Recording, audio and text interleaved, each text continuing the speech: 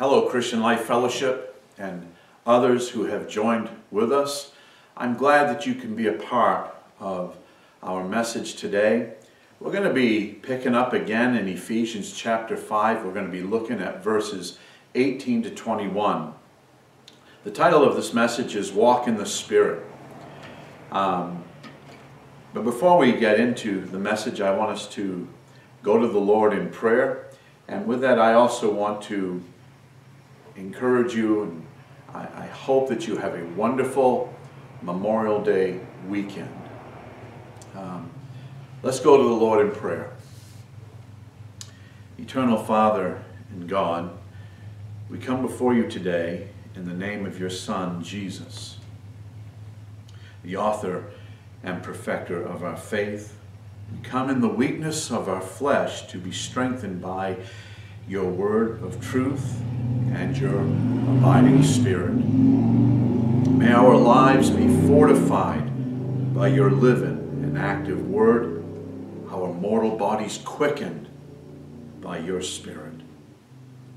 May our hearts be humbled by the strike of your two-edged sword, that which pierces to the division of soul and spirit, of joints and of marrow, and discerning the thoughts and intentions of the heart.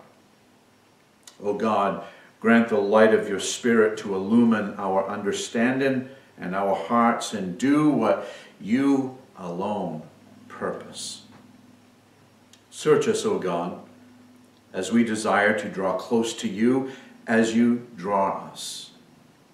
Heavenly Father, we desire to hear from you, and may our response be as young Samuel saying, Speak, for your servant hears. Father, I thank you for the celebration of Memorial Day here in our country.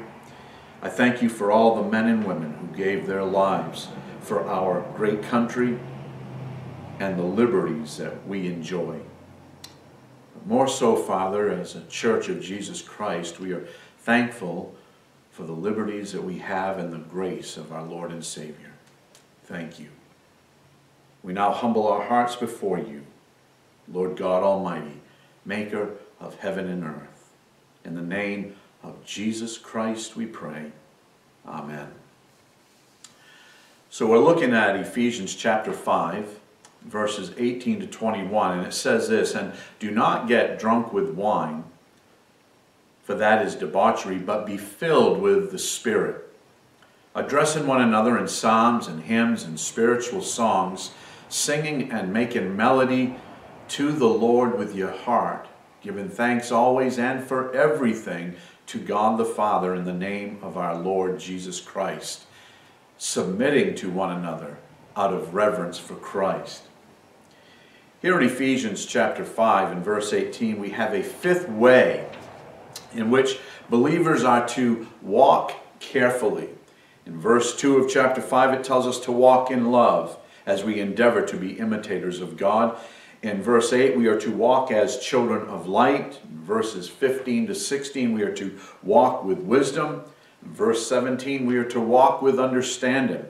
And here in verses 18 to 29, we are to walk with spirit-filled lives. Paul opens this section by reminding us of the fountain of healthy relationships, that is the Spirit, the Holy Spirit. Paul made a connection between the Spirit and relationships already in Ephesians, and here he makes another connection. Uh, after telling us to be filled by the Spirit, Paul gives two one another's that is, speaking to one another in verse 19 and submitting to one another in verse 21. And here is yet another New Testament example of how a spirit filled believer is a person who lives in right relationship with God and right relationships within the Christian community. So Paul begins here in verse 18 by saying, Do not get drunk with wine these are two commandments that Paul has given us here in verse 18. One is a negative command, do not get drunk, and the other is a positive command, be filled with the Spirit. One commentator says it is the latter, be filled with the Spirit, that is, which is particularly emphasized and which sets the direction for the rest of the passage. The book of Proverbs warns us about drinking, excessive drinking, that is. It says in Proverbs 20 and verse 1 that wine is a mocker and strong drink is a brawler and whoever is led astray by it is not wise. We are being taught here in Ephesians chapter 5 to live wise, not like the unwise. We are not to live foolish lives. And here the writer of Proverbs tells us that whoever is led astray by the excessiveness of wine is not wise. But here in verse 18, we have what we call a juxtaposition Paul gives two very contrasting lifestyles to make obvious their major differences, from being drunk with wine to that of being filled with the Spirit. However, the only commonality of the two in getting drunk or being filled is that both are the result of an individual being under the influence. To be drunk is to be filled with alcohol, to be spirit filled is to be filled with the Holy Spirit The former influence is destructive, while the latter influence is constructive. Drunkenness is destructive. I, I, we all know that. I'm sure that everyone that uh, is listening to this message has, in one way or another, been in relations with people's lives who have been touched by alcoholism and drunkenness some of you firsthand. Drunkenness has ruined marriages, family relations, finances, and it will eventually ruin the individual if they do not get the help they need. Drunkenness has cost people their jobs, possessions, and the lives of countless innocent people who have died at the hands of a drunk driver. According to the National Highway Traffic Safety Administration, every day almost 30 die in the United States in drunk driving crashes. Think about that for a moment. That's, that's one person every 50 minutes. Drunk driving crashes claim more than 10,000 lives per year, costing billions of dollars annually, according to this report. So Paul tells us do not be drunk with wine, for that is debauchery. Debauchery is behavior which shows lack of concern or thought for the consequences of an action. These, this is an individual whose actions are senseless and reckless. Senseless and reckless deeds. Paul condemns drunkenness as an utter and senseless waste. The basic idea of the word is wastefulness and is often used in context of moral exhortation to describe a life that is devoid of virtue and represented a waste of time, in contrast to one who is to redeem the time. As Christians, we are to redeem the time. Drunkenness being a waste of time, a senseless waste of time, and life that is devoid of virtue. One commentator says that drunkenness is one of the sinful deeds of the flesh that are in opposition to the righteous fruit of the Spirit that we find in Galatians chapter 5. And drunkenness is first of all a sin. It develops attendant disease as it ravages the mind and the body but it is basically a sin, a manifestation of depravity. It must therefore be confessed and dealt with as a sin. Drunkenness was one of the sins that Paul dealt with in the Corinthian church concerning communion. Some in that congregation were eating in a gluttonous manner, and some were drinking to get drunk. Paul said these individuals were guilty concerning the body and the blood of the Lord. And he goes on to say that is why many of you are weak and ill, and some have even died. Again, we look to the wisdom of the book of Proverbs to give us more insight to the reckless behavior of one who is caught up in the excessiveness of drinking. It tells us in Proverbs chapter 23, beginning with verse 29 Who has woe? Who has sorrow? Who has strife? Who has complaining? Who has wounds without cause? Who has redness of eyes? Those who tarry long over wine, those who go to try mixed wine. Do not look at wine when it is red, when it sparkles in the cup and goes down smoothly. Here, the, the writer is describing the allurement of it to those who are entrapped by it. In verse 32, it says, In the end, it bites like a serpent and stings like an adder. Your eyes will see strange things, and your heart utter perverse things. You will be like one who lies down in the midst of the sea, like one who lies on the top of a mast. They struck me, you will say, but I was not hurt. They beat me, but I did not feel it. When shall I awake? I must have another drink.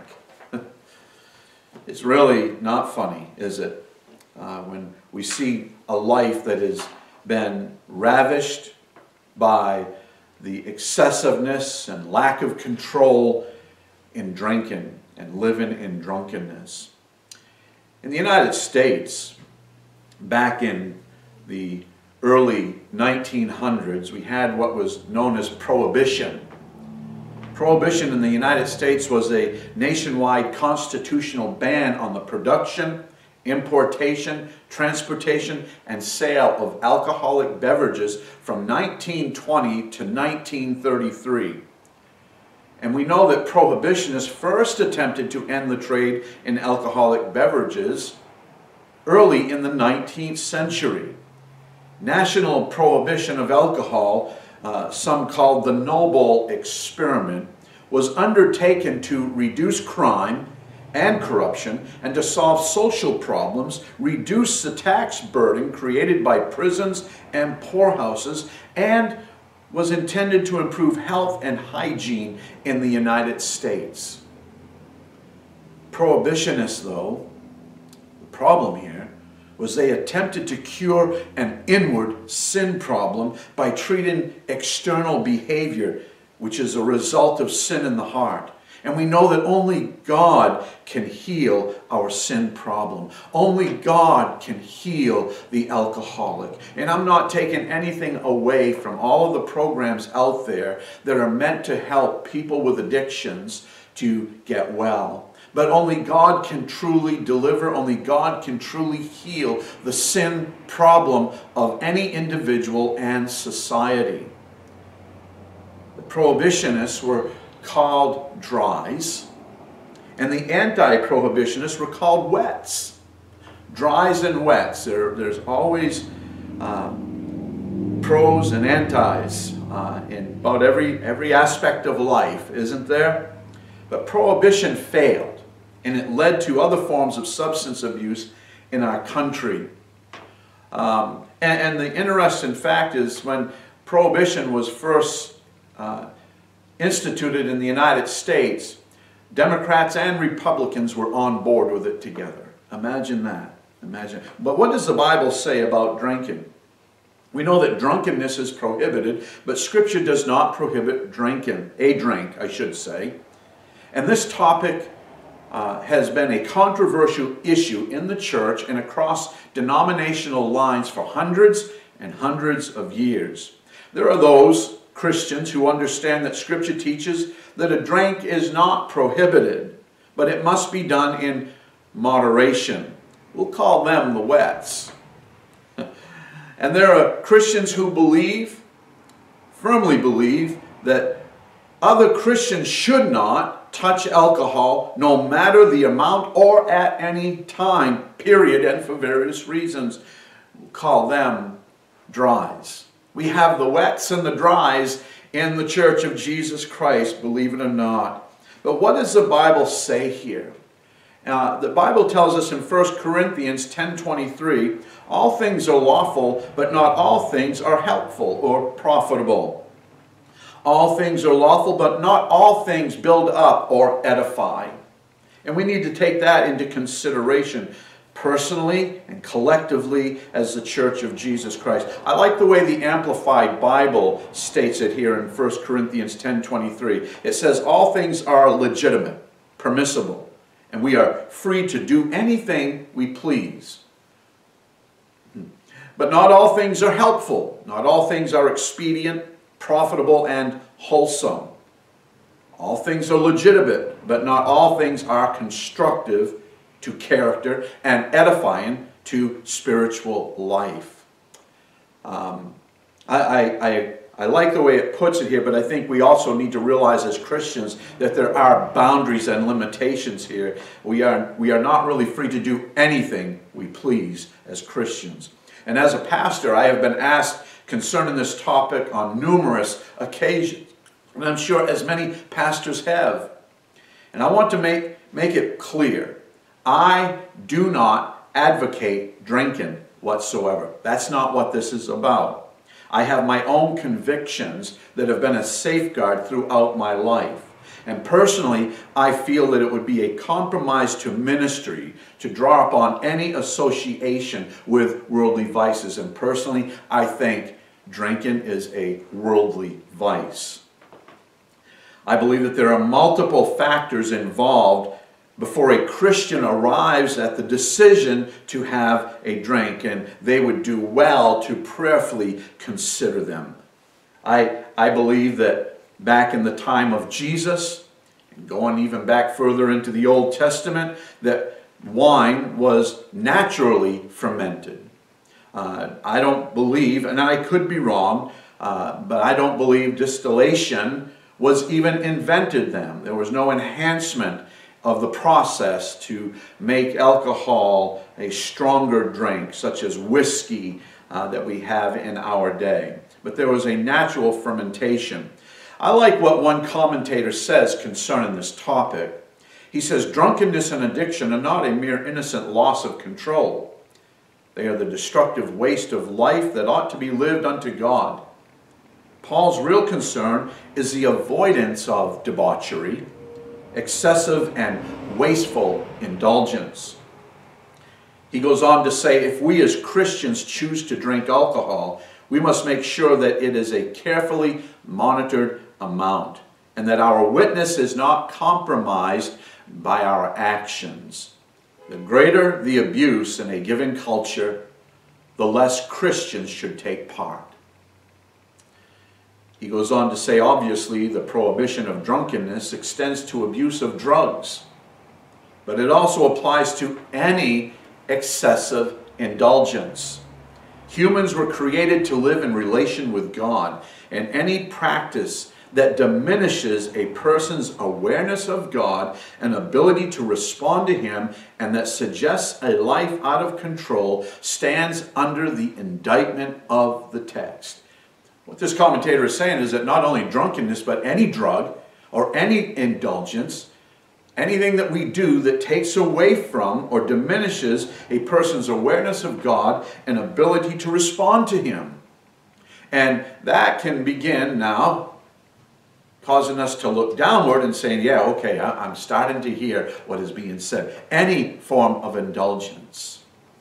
Uh, to some people, drinking too much coffee does more damage to your body than having a glass of wine. And I know, I know you don't want to hear that, and um, some don't want to hear that, but we need to consider this. And we as a church family, the body of Christ is not to judge another brother or sister who decides that they can exercise that grace and liberty in Christ. I know that from my own upbringing, personally, uh, from the tradition operative word here, from the tradition of my upbringing, I was always taught and I believed for a long time that any form of alcohol consumption was a sin. And there are many things that we attach to our traditional upbringing that we really need to take before God and lay on the altar. And again, I remind you, I am not advocating drinking whatsoever. But there are those who who feel that they have that liberty and grace to do so, and we should not ju- judge them. So, what does Paul say? Paul says, Be filled with the Spirit. Be filled with the Spirit. This is the positive command, and this is a constructive command. Those who are drunk fill themselves with wine. And on the contrary, the believer is filled with the Spirit of God. You see, the drunk fills himself with wine. The believer is filled by and with the Spirit of God. Being controlled by the Holy Spirit, says MacArthur, is absolutely essential for living the Christian life by God's standard. God's way cannot be properly understood or faithfully followed apart from the working of the Spirit in the life of a believer.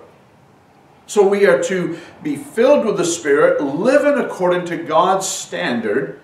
And MacArthur says that we cannot properly understand or faithfully follow God apart from the working of the Spirit in our life. Period. This is what Paul has been getting to throughout chapter 5.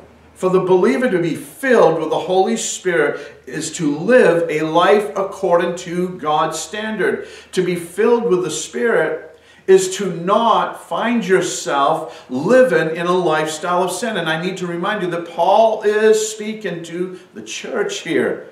We don't know if there were people in that congregation that were exercising drunkenness in their behavior. We know that in the Roman Greco world, at that time period, in that culture, drinking and drunkenness was quite promoted. And maybe some were exposed to that, and Paul had to deal with this issue. But Paul is saying that we are to be filled with the Spirit. For the believer to be filled with the Holy Spirit is to live a life according to God's standard. And the results being that their lives will be a reflection of the power of the Holy Spirit working in and through them. When we first become concerned about being filled with the Spirit rather than other things, then it will be easier for us to understand what the will of God is. And it is interesting to me personally how we as a church, the body of Christ, would rather get more caught up in what others can or cannot do than to give utmost attention to what we all should be doing. That is, i.e., be filled with the Spirit. Be filled with the Spirit. What does that look like for you and me to be filled with the Spirit? What does it look like to be walking with Spirit filled lives? It tells us in Ephesians 1 through 4, 1 through 3. Yes, I keep going back to Ephesians. I do. Um, in, in, Ephesians 4 1 to 3, it teaches that we are to walk in a manner worthy of the calling to which you have been called, with all humility we are to walk with all humility and gentleness, with patience, bearing with one another in love, eager to maintain the unity of the Spirit and the bond of peace. Now, now listen to that for just a moment. We are to, we are to walk in a manner worthy of the calling. If you're a Christian, you've been born again, you've been purchased and ransomed by the blood of Jesus Christ, you must walk in a manner worthy of that calling, with humility, with gentleness, with patience. With one another, by the way, this is how we are to treat one another as well. With humility, gentleness, patience, bearing with one another in love, not in frustration not in, not in uh, a lack of patience, not in a lack of gentleness, eager to maintain the unity of the Spirit in the bond of peace. That's what that looks like. That's what the Spirit filled life looks like in the body of Christ. And I need to remind you again in Ephesians 1:13 that we have been filled with the Holy Spirit when we came to Jesus Christ we were, we were born again. It says here in Ephesians 1.13, In him you also, when you heard the word of truth, when you heard the word of truth, when you heard the gospel of salvation, and believed in him, and you believed in Jesus, you were sealed with the promised Holy Spirit, who is the guarantee of our eternal inheritance until we acquire possession of it. To the praise of his glory, to the praise of the glory of God in the Son, in our Savior. One commentator says that the hallmark gift of the new covenant is the indwelling presence of the Holy Spirit. The hallmark gift of the new covenant is the indwelling presence of the Holy Spirit in the life of a believer. Paul calls believers to yield their lives completely to the Spirit's influence and to resist coming under the pull of other mind altering and numbing substances. Get away from the Spirit filled life, keeps their eyes upon Jesus, looking full in His wonderful face, and the things of this earth grow strangely dim. Galatians 5 16 through 17 says, But I say, walk by the Spirit, and you will not gratify the desires of the flesh. For the desires of the flesh are against the Spirit, and the desires of the Spirit are against the flesh, for these are opposed to each other to keep you from doing the things you want to do. When you want to serve God wholeheartedly, you want to do what is right, good, and true, know that the flesh is going to be in opposition to that. It's going to be tempting you, speaking little whispers in your heart, in your ear to not do those things. And when you go to sin, when you go to fall into that temptation, you're going to feel a sense of conviction and shame. That's the Holy Spirit opposing your flesh. And we must look and cry out to the Lord for deliverance. R. Kent Hughes says this uh, concerning drunkenness and being filled with the Spirit. He said, The mention of drunkenness and being filled with the Spirit may suggest an exact parallel, but this is not so. For the parallels between drunkenness and the filling of the Spirit are merely superficial. He says it is true that when someone is drunk, he is under the influence. And when one is filled with the Spirit, he is under the Spirit's influence. But the comparison ends there, and the rest is contrast. Being filled with the Spirit is not a kind of spiritual intoxication in which we lose self control. For self control is a fruit of the Spirit that we find in Galatians. We know that in Acts chapter 2 and verse 13, on the day of Pentecost, the disciples were accused of being filled with new wine by only but only rather by those who criticized them. They were mocking them it tells us in the scriptures. The disciples upon being upon being filled with the holy spirit began to speak in other tongues as the spirit gave them utterance. We find that in acts 2 4 this other tongues though was a known tongue to those in jerusalem that day Men from every nation under heaven were in Jerusalem, Acts 2 5.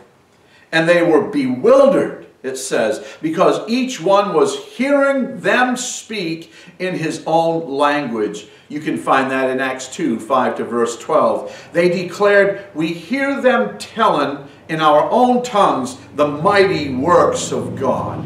So that unknown tongue to the disciples at the outpouring of the Holy Spirit was actually a known tongue to those in and around Jerusalem that day. Those who are filled with the Spirit are not drunk with the Spirit as we see here in reference to drunkenness. There is no correlation to this degree whatsoever. The Spirit filled life is a life under the control and influence of the Holy Spirit. There is no slurring of speech or stumbling around as though inebriated, inebriated, and there is no shame in being filled with the Spirit. It is right and it is pleasing to the Lord to be filled with the Holy Spirit. Christians are to live in the fullness of the Spirit. What we have here in verses 19 to 21 is to be seen as a result describing the outworking of the Spirit's filling in the life of the believer. A pastor I sat under years ago and for a short time used to say concerning the outworking of the Holy Spirit in the life of a believer, he would say, it is the outflow of the overflow of the inflow of the Holy Spirit in the life of that individual. And I think that says it well. That says it well.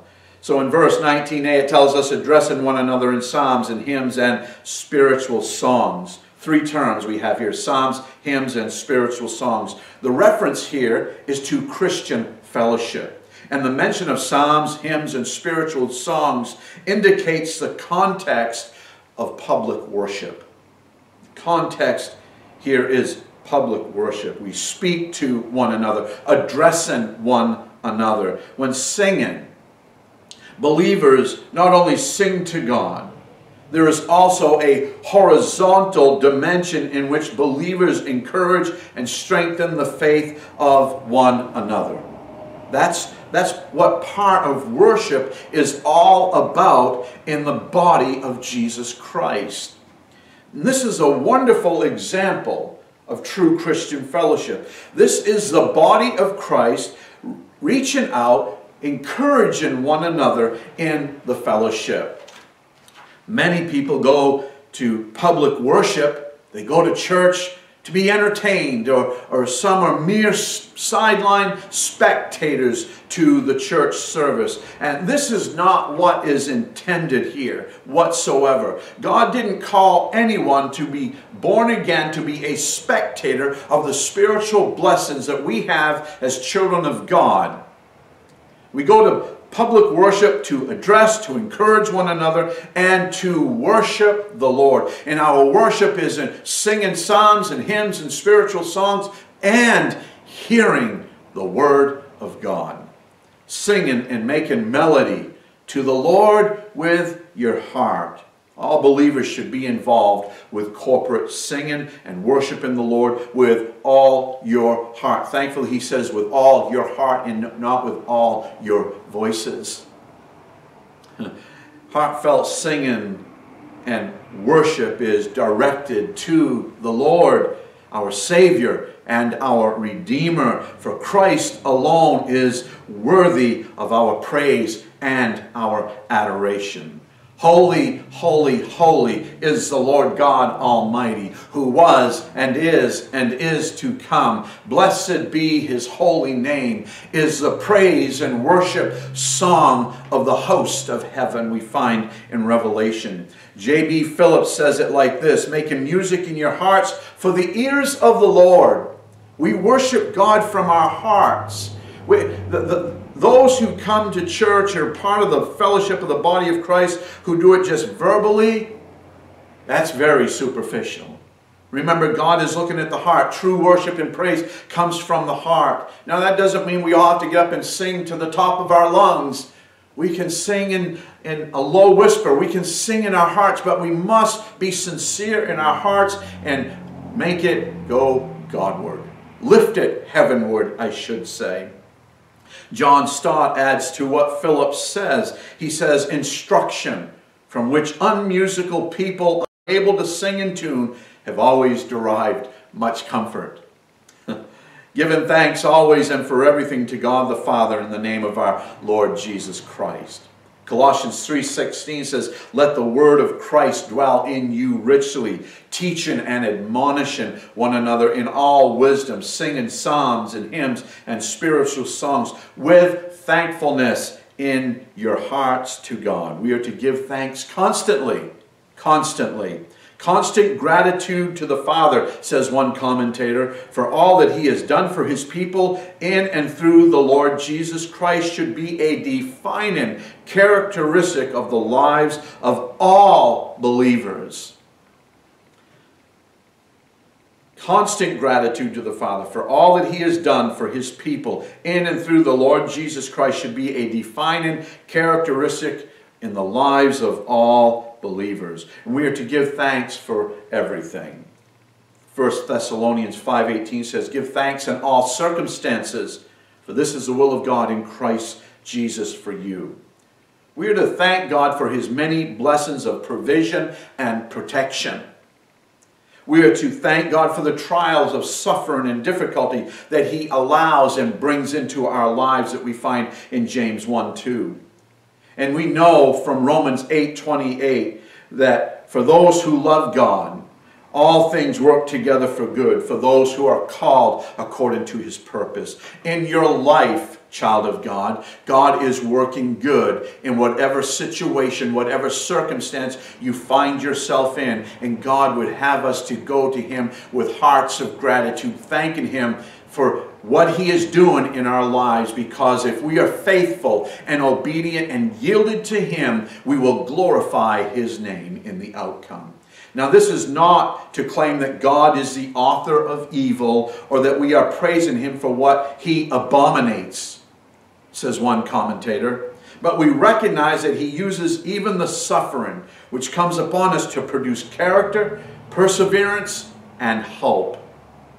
And a life filled with thanksgiving will find spontaneous expression in psalms, hymns, and spiritual songs. We are to give thanks to God the Father in the name of Jesus our Lord. Jesus said, I am the way, the truth, and the life. No one goes unto the Father except through me. Jesus is the door to the Father. Jesus is our reconciliation to the Father. Jesus, just as Jesus taught his disciples to pray to the Father in his name, so Paul here instructs his, instructs his readers to utter their expressions of praise and gratitude to the Father in the name of the Lord Jesus Christ.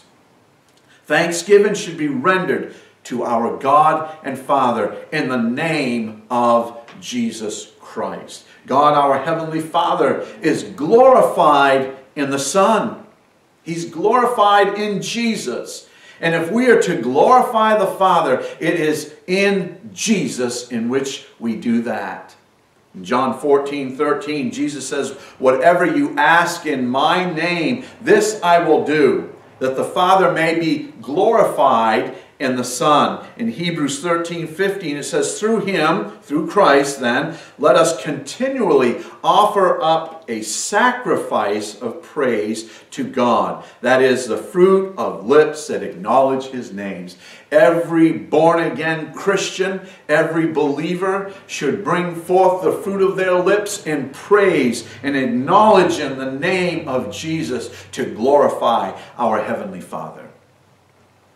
We are to submit to one another out of reverence for Christ. Verse 21 here of Ephesians 5 is a hinge verse that goes all the way through chapter 6 and verse 9. One commentator says believers whose lives have been filled by God's Spirit will be marked by submission within divinely ordered relationships. We need to, to listen to this carefully. The key verb used here means literally to arrange under. Submission, submit or submission, to arrange under. It regularly functioned to describe the submission of someone in an ordered array to another person who was above the first in some way. For example, the submission of soldiers in an army to those of superior rank. Those, those of lesser were to be arranged under the greater. Submission. Sometimes a person who claims to be filled with the Spirit becomes aggressive, self assertive, and brash. But the Holy Spirit is humble, is a humble spirit. And those who are truly filled with Him always display the meekness and gentleness of Christ. That is, walking in a manner worthy of the calling in which we have been called. It is one of their most evident characteristics to submit to one another. That's, that's a, a, a wonderful example of the love of Jesus Christ. Our mutual submissiveness is out of reverence for Jesus. We submit to others because Christ is the ultimate authority over our lives. And didn't Jesus set the example for us? He didn't come to serve, he didn't come to be served, he came to serve. I better get that right at this point. We belong to Christ's kingdom. He is the king. And out of reverence for him, we gladly submit to his rule and serve others with compassion. Oh, that we find ourselves doing just that. To have the heart and compassion for one another that Jesus has for us and his church. We should exhibit that. And we need to ask ourselves every day, possibly, are we right there? Do we have the heart of Jesus Christ in all things? In the way we treat people, in the way we greet people, in the way we fellowship with other members of the body of Christ? In conclusion, how we live as followers of Jesus Christ truly and eternally matters in our day to day communion with Him and with the world around us. It truly matters. It matters how we follow Him.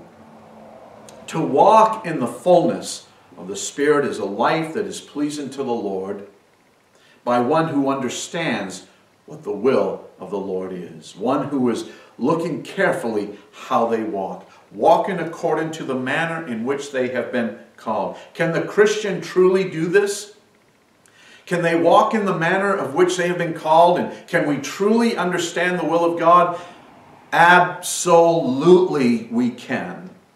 God's Word teaches us that this is so, and God will keep His Word, God will keep His promise to His children. To be filled with the Spirit is walking in love, walking in the light, walking with wisdom, walking with understanding, and walking with Spirit filled lives.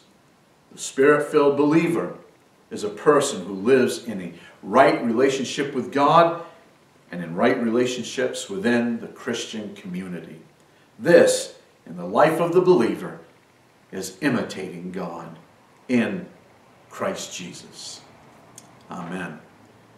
I pray that the Word of God encourages you today. I pray that your hearts are lifted up.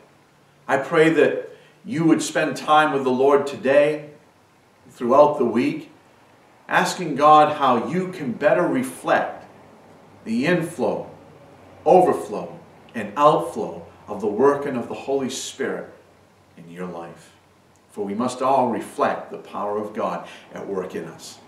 Be encouraged in Jesus Christ. Don't get your eyes on the things around you. Don't let your ears hear all, all that is going on around you. We walk by faith and not by sight. Keep your eyes upon Jesus Christ. He will see us through. Amen.